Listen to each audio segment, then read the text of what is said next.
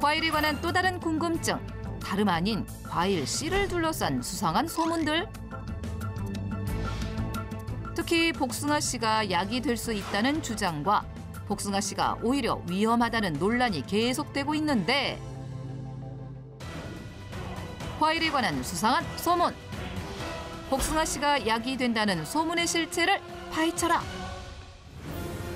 정확한 사실 확인을 해줄 김소영 한의사. 이게 바로 복숭아 씨입니다. 이 복숭아 씨에는 독성이 있는 건 사실이지만 이 복숭아 씨는 도인이라는 본초 약명을 가지고 있습니다. 복숭아 씨가 알고 보면 한약재로 쓰인다? 복숭아 씨의 단단한 껍질을 깨면 약 1cm 정도가 되는 작은 알맹이가 나오는데 이것을 햇볕에 말려서 빻게 되면 도인이라는 한약재로 응용이 됩니다.